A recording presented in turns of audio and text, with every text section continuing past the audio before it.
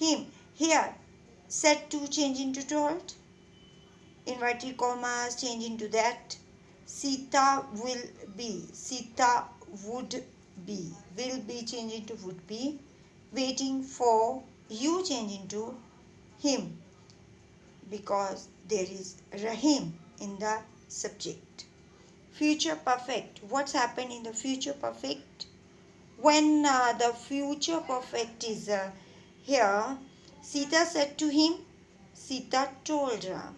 Sita said to Ram, Sita told Ram that I will have that inverted commas here that I will have completed my work that she would have completed her work. It's very simple.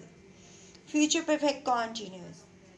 Nisha said to me, I shall have been reading the book.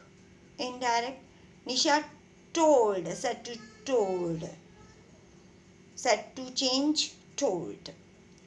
Nisha told me that. Inverted comma removed. We write that. She told that. She told Nisha told me that she she would have been reading the book. Shall have changed into would have been because reading is used. Ing na so. So this is the niyam.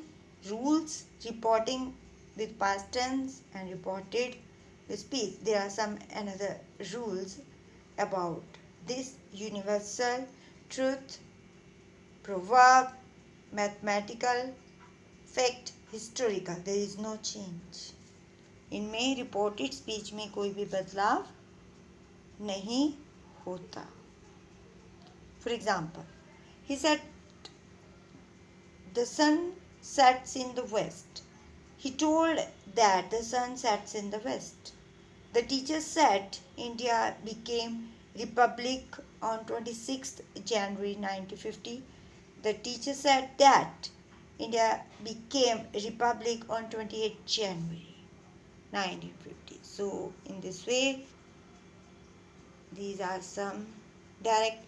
The teacher said something is better than nothing. Indirect, the teacher said that something is better than nothing.